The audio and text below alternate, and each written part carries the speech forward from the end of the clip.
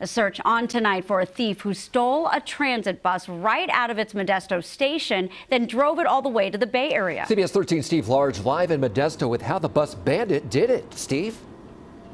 Yeah, and this is a half a million dollar vehicle we're talking about. This is where this bus was sitting when this thief got inside and drove it away. Two questions tonight.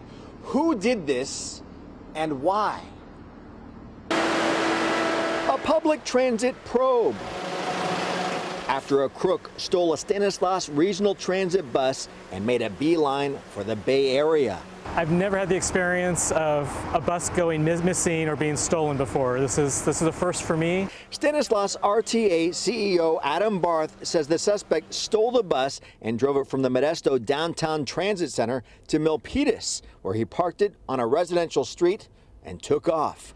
Regular riders are now learning about the transit investigation. That was ridiculous. I don't know why they did that, but it's crazy. It's just um, there as a spare bus to be put into service for any number of reasons. The suspect made the 80 mile drive with no traffic accidents or incidents. It was an onboard camera that finally alerted Stanislaus RTA operators the bus was in the wrong place. A safety feature in the camera system captured the driver holding a cell phone in his hand. That signal was sent to transit staff showing the GPS with the bus far away. They called the Milpitas police to the location.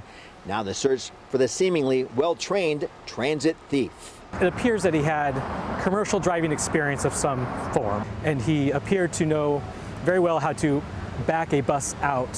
Who is the bus bandit?